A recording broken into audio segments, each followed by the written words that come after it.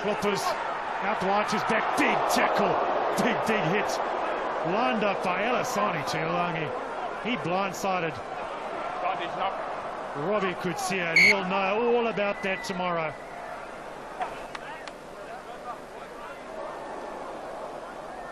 Well, that's it there from Tuilagi.